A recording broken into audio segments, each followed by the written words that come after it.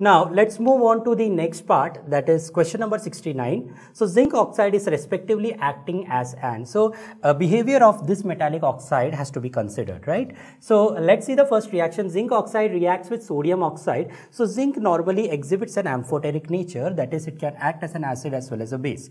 So zinc oxide and uh, Na2O it forms a salt, right? So sodium oxide is basically a basic oxide so that means zinc oxide should be acidic in order to form a salt.